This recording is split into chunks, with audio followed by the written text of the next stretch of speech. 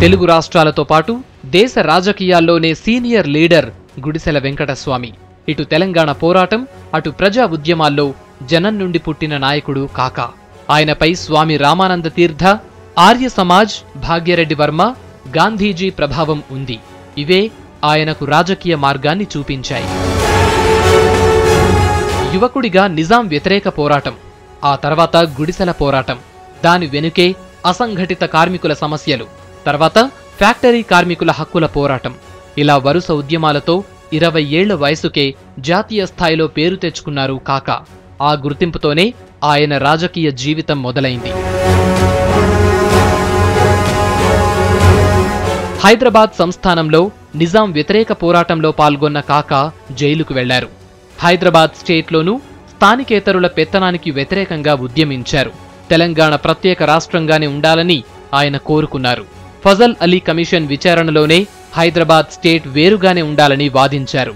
తర్వాత పంతొమ్మిది వందల అరవై తొమ్మిది ఉద్యమ సమయంలో తెలంగాణ కోసం పార్టీని కూడా ధిక్కరించారు. ఆ సమయంలో అరెస్ట్ అయిన ఉద్యమకారుల కోసం ముషీరాబాద్ జైలుకు పోయి అక్కడ పోలీసుల కాల్పుల్లో బుల్లెట్ల దెబ్బతిన్నారు మరణం అంచుల దాకా పోయి బతికారు. తెలంగాణ వాదం కోసం ఇట్లాంటి పట్టుదలే ఆయన్ను తిరుగులేని నేతగా మార్చింది.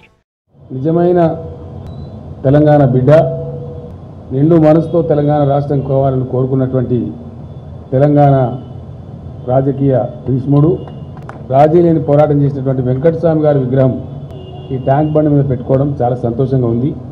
తనకు అవకాశం ఉన్నంతలో నాయకత్వం వహించాల్సినప్పుడు నాయకత్వం వహించి నైన్టీన్ సిక్స్టీ నైన్లో బుల్లెట్ దెబ్బ కూడా తిని ఇబ్బందుల పాలైనా కూడా తెలంగాణ అంశాన్ని వెంకటస్వామి గారు ఏనాడు కాంప్రమైజ్ కాలేదు.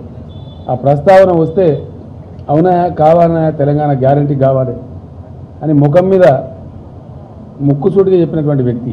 పంతొమ్మిది వందల డెబ్బై ఒకటిలో రెండోసారి పార్లమెంటుకు ఎన్నికయ్యారు కాకా. ఇందిరాగాంధీ మంత్రివర్గంలో కేంద్ర కార్మిక పౌర సరఫరాల శాఖ మంత్రిగా పనిచేశారు.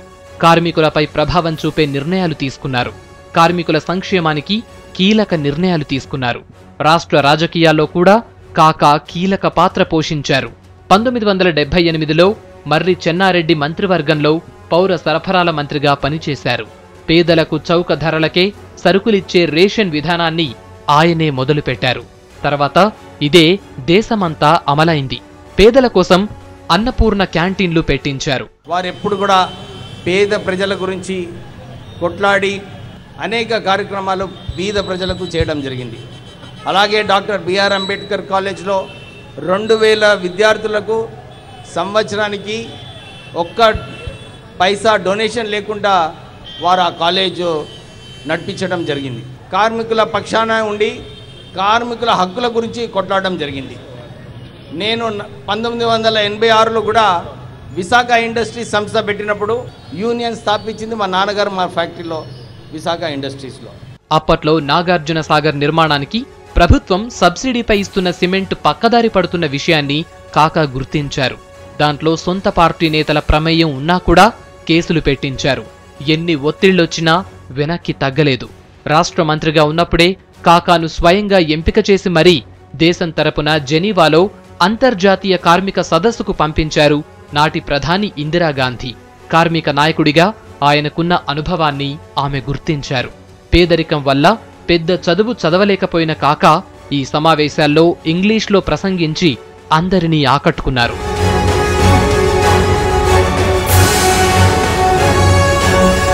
పంతొమ్మిది వందల తొంభై ఒకటి ఎన్నికల్లో ఐదోసారి పెద్దపల్లి నుండి పార్లమెంటుకు ఎన్నికయ్యారు వెంకటస్వామి.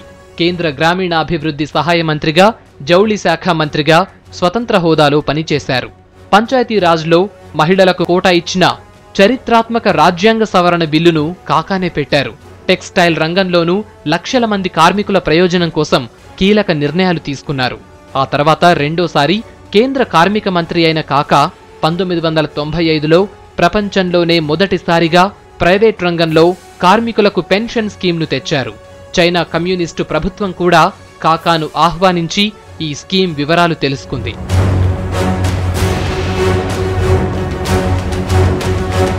పంతొమ్మిది వందల తొంభై ఆరులో పెద్దపల్లి నుండి ఆరోసారి ఎన్నికయ్యారు కాకా. తెలంగాణ సమస్యల మీదే దృష్టి పెట్టి పనిచేశారు. కాంగ్రెస్ జాతీయ సమావేశాల్లోనూ తెలంగాణ నినాదం వినిపించి కలకలం రేపారు. చివరికి రెండో ఎస్ఆర్సీ వేసే ఆలోచనకు ఒప్పించారు. తర్వాత పరిణామాల్లో టీఆర్ఎస్తో కాంగ్రెస్ పొత్తులో కాకా కీలక పాత్ర పోషించారు. ఆ ఎన్నికల్లోనే తెలంగాణ ఏర్పాటుకు అభ్యంతరం లేదని సోనియా గాంధీ హామీ ఇచ్చారు. రెండు వేల నాలుగులో పెద్దపల్లి నుండి ఏడోసారి గెలిచిన ఆయన లోక్సభలో కాంగ్రెస్ పార్టీ డిప్యూటీ ఫ్లోర్ లీడర్గా పనిచేశారు. ప్రణబ్ ముఖర్జీ గారు నాతో మాట్లాడాలి. నేనేమో అవాయిడ్ చేస్తా ఉన్నా. టూ థౌజండ్ ఫోర్ అలయన్స్కి సంబంధించి. చేస్తుంటే వారు ఎవరి వల్ల కాదు? వెంకటస్వామి సాబ్ ఆ బాత్ ఆ బాత్కారో వంశీ. అని చెప్తే నన్ను కాక భోజనాన్ని పిలిచినారు. కానేపే ఆవు అంటే పోయినా మాట్లాడిన తర్వాత ఓ ప్రణబ్ ముఖర్జీ సాబ్ అయినా బడే ఆద్మీ టీకే ఎక్ మినిట్ అని ఫోన్ కలిపి నాకు ఇచ్చేసి. సచ్చినట్టు మాట్లాడాల్సి వచ్చింది నాకు. అంటే పని చేయించడంలో నేర్పరి. ముందే చెప్తే బహుశా నేను అవాయిడ్ చేసి ఉంటాను. కానీ భోజనాన్ని పిలిచి పెద్ద ఆయన వెంకటస్వామి గారు చెప్పిన తర్వాత ఇంకా కాదనే ప్రసక్తే ఉండదు. అంత సీజన్డ్గా అంత గొప్పగా పనిచేసేటువంటి గొప్ప నాయకుడు.